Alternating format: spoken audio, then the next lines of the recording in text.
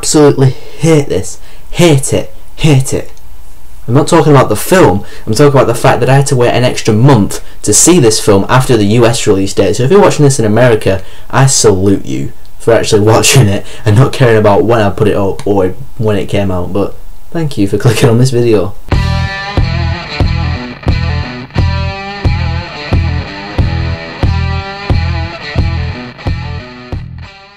Dumb and Dumber 2. So it has been 20 years since the first Dumb and Dumber film, and since then it has become a cult comedy classic. And watching Dumb and Dumber 1 right before I watched Dumb and Dumber 2, I can still safely say that Dumb and Dumber 1 still makes me laugh my ass off to this day.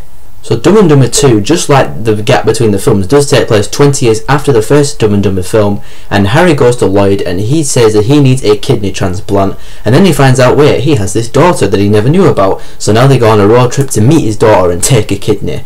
Well, in the meantime, Lloyd is once again in love with his daughter. Now, going into this film, I knew for a fact it wasn't going to be better or funnier than the first Dumb and Dumber film. I just knew that for a fact. But going into this film, I wanted this film to do one thing and one thing only. I wanted it to make me laugh. But did it make me laugh? Well, yeah, quite a few times actually. It did make me laugh. But the one thing that did it for me in this film was Jim Carrey and Jeff Daniels' chemistry. I thought they were great in this film together. I thought they were just exactly like they were in the first film, but older. But they were they were really good in the film. They have really good comedic chemistry, and it's just the exact same as it was in the first film. And I'm really glad that it wasn't different because I thought after 20 years it was going to be all different. I thought they would have lost the chemistry, but it's not. It's still in this film, which is awesome. But let's get to the humour. This film, I will admit, did not have a laugh out loud moment. There was no like single moment where you go, yeah, that was the funniest part of the film. Oh my god, I died laughing. No tears, no stomach aching pains. There were no laugh out loud moment in this film, I will admit, and that is really depressing to say that.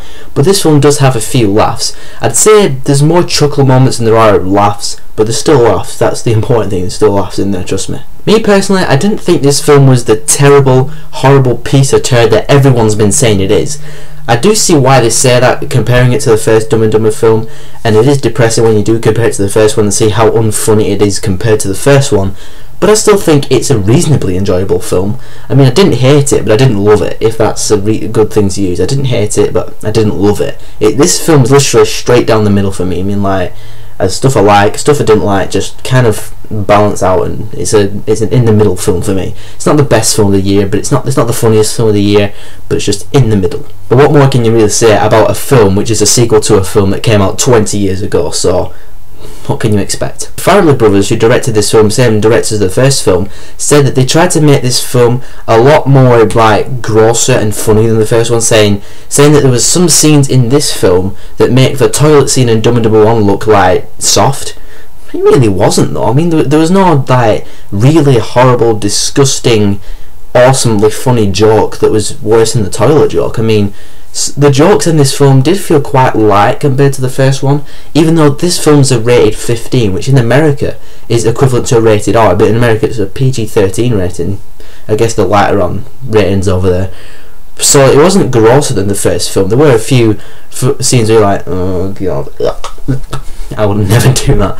But it wasn't like really OTT gross. So in the end, Dumb and Dumber 2, it wasn't the terrible piece of rubbish I've heard everyone say it is, but it's obviously not a comedy masterpiece.